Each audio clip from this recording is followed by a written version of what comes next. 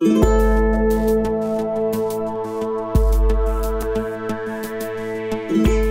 2014, Holcim Lanka added 600,000 metric tons of cement production capacity to our asset portfolio in Ruhunu cement plant to cater the demand.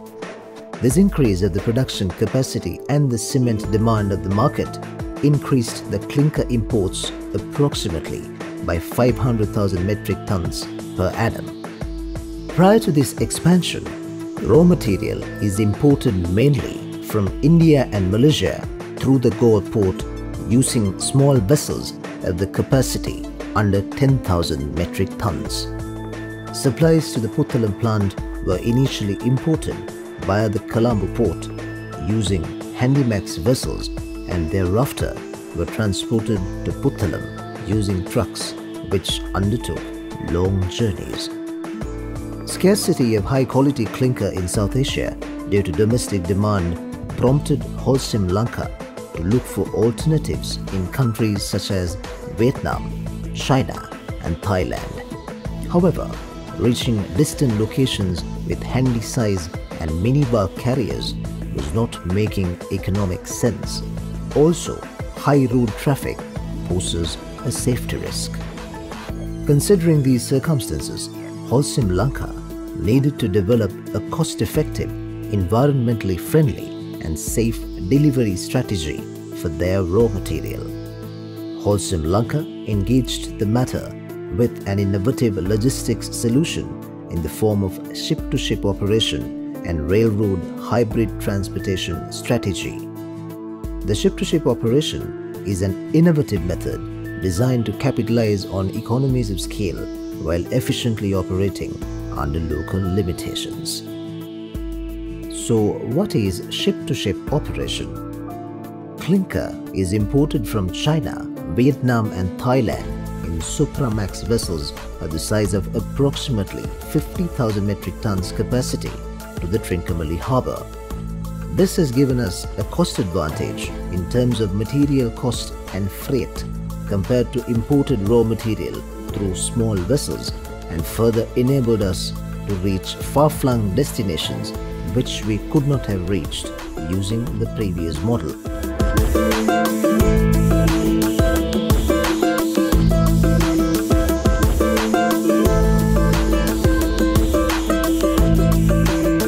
Once the large vessels arrive at Trincomalee, the requirement of the Galle plant is unloaded to small ships at midstream inside the port and transferred to Galle.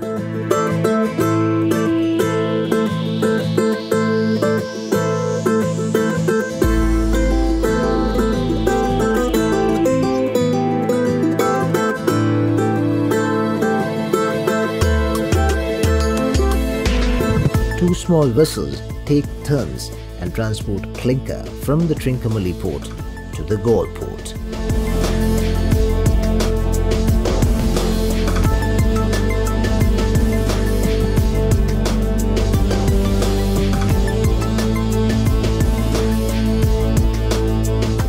Then what is railroad hybrid model?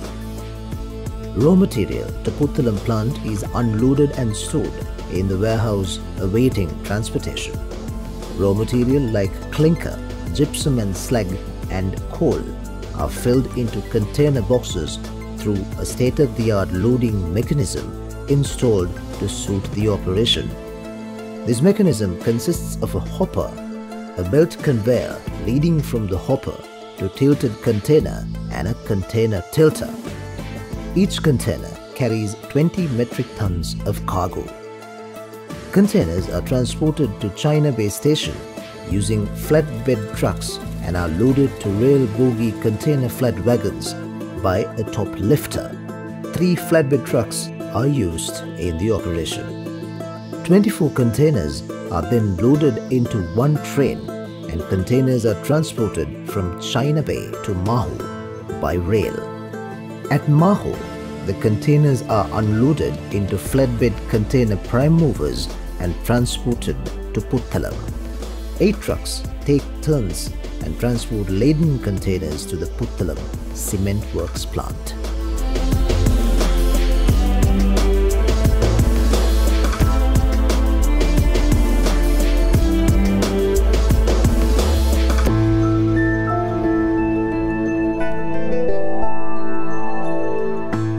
What are the benefits of this new operations model?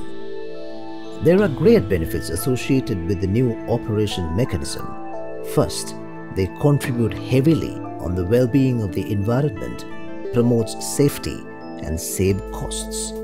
By using 55,000 metric ton large vessels instead of many 10,000 metric ton small vessels, we have cut down the carbon footprint by 10 to 11%.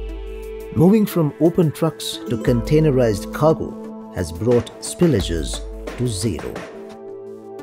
The railway transportation is able to reduce the number of kilometers transported by trucks from 3 million kilometers to 0.8 million kilometers and the number of trucks from 200 spot hiring vehicles to 15 dedicated trucks. This massive reduction of trucks on the road has dropped land transport carbon dioxide emission by 17%, in addition to reducing road safety risk exposure.